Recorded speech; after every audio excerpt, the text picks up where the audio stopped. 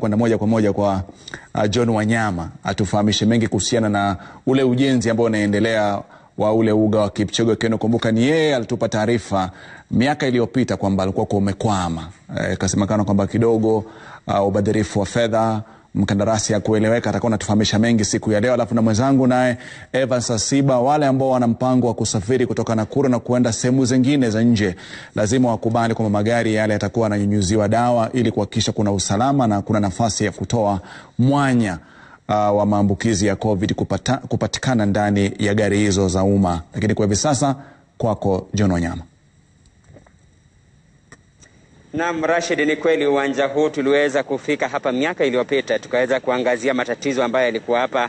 Wale walikuwa wamepewa kandarasi walikuwa wamewacha na kwenda, lakini kama mpiga picha wangu atakuonyesha tu kidogo, kazi imeng'oa nanga, na kweli wanafanya kazi kwa bidii, na wanasema kwamba kazi hii itakamilika chini ya miezi saba, kulingana na waziri wa michezo Amina Mohamed aliyezuru katika uwanja huu, akasema kwamba chini ya miezi saba uwanja huu ambao umekarimu takriban shilingi milioni eh, mia sita hivi hamsini na nane basi utakuwa umekamilika wakati huo. Na hapa tuko katika uwanja huu, wengi wameanza kufika katika uwanja huu Rashid, kufanya mazoezi, na kama tutazungumza na ambaye ni injinia ambaye anasimamia eneo hili.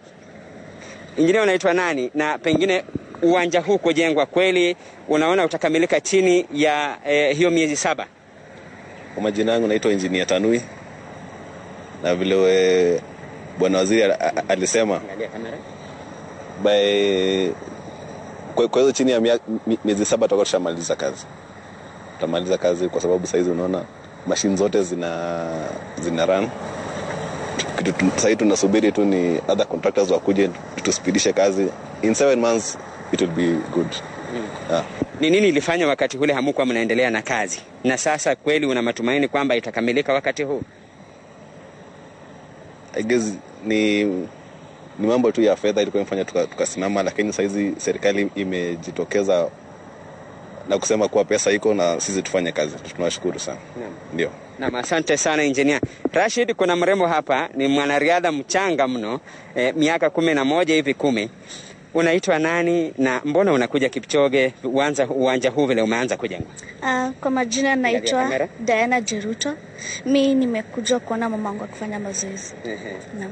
Na wewe pengine unataka kuwa mwanariadha pia? Naam. Naam. Unataka kukimbia mpaka hapa?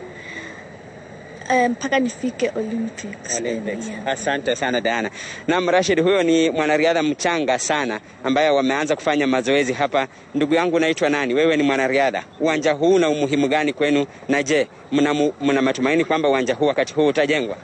Ndio, tuna matumaini. Kwanza kwa majina naitwa Lennox Ambani, mi ni mkaaji wa huku Kapsoya, na nasema shukrani, pongezi kwa serikali ya kaunti kwa kufanya juhudi juu chini kuhakikisha uwanja huu inaendelea. Yeah. Naam. Naam. Naam, Rashid, hawa ni baadhi tu ambao wameweza tumeweza kuwapata katika eneo hili, lakini cha kimsingi na cha kufurahia sana ni kwamba angalau Rashid, uwanja huu kuna kilio ambacho kilifika kwa masikio ya mtu mahala na akaweza kuamua kwamba uwanja huu ujengwe. Kwa hivyo tunaarifiwa kwamba chini ya miezi saba uwanja huu utakuwa umekamilika, na kweli vile unaona kazi inaendelea na wanatumaini kwamba huenda wakati huu utakamilika, ili uwanja huu ambao ni wa umuhimu sana kwa wanariadha wote katika eneo hili la ukanda wa kaskazini mwa bonde la Ufa watanufaika na waendelee kuwa mabingwa na makwiji ulimwenguni. Rashid.